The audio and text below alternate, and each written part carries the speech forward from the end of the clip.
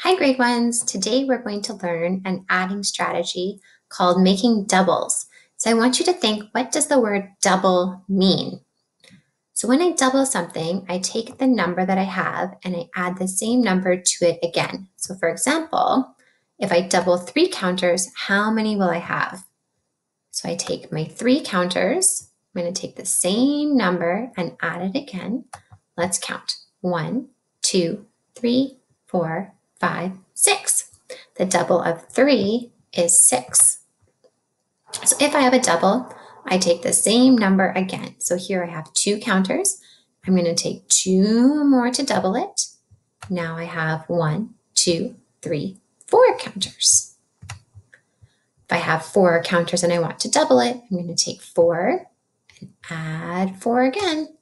One, two, three, four, five, six, seven, 8. The double of 4 is 8. So when we double a number, we can find it by adding the number to itself. So for example, if I wanted to double 3, I would have 3 plus 3 equals 6. So the double of 3 is 6. If I want to write an addition sentence to show the double of 4, I would think 4, I'm going to take that same number and add it to itself, 4 plus 4 equals 8. Now when I'm doubling, I can make two rows that are the same. So here I have 3. Instead of putting it beside, I can just slide it underneath. And we're going to see the double of 3. Let's count. One, two, three, four, five, six. The double of so 6 is the double of 3. Now, here I have one. I'm going to double it. I have two.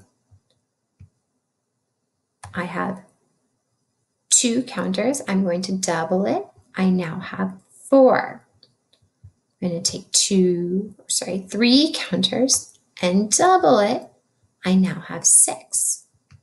Take four counters and double them. Now I have eight. Take five counters and double them. Now I have 10. So I want you to look at that second row and see what you notice about these numbers in the second row. Hmm. Did you notice that they're counting by twos? Two, four, six, eight, ten. So if I want to find the double of one is two. Hmm. The double of three is six. So I'm skip counting by twos to find the double. So I can actually use my fingers to find the double. So if I want to find the double of one, so I'm going to hold up one finger on each hand, and then I'm going to count by twos. So the double of one is two. Then if I want to find the next double, I'm going to count two, four.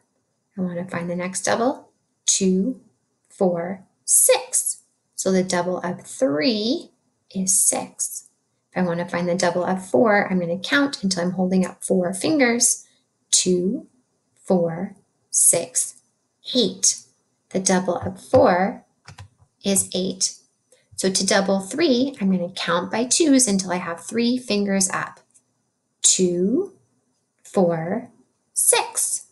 The double of three is six. Let's try another one. If I want to find the double of five, I'm going to count by twos until I have five fingers up.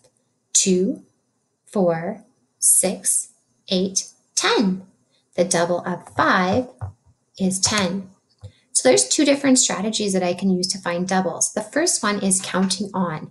The counting on strategy, I'm going to catch the first number and count on until I get to the second. So I'm going to catch five, six, seven, eight, nine, ten. The double of five is 10. The next one I'm going to catch four, oops, catch four, count on five, six, seven, eight. The other strategy I can use is counting by doubles. So here I'm going to start with two, four, six, eight, ten. The next one, I want to find the double of four.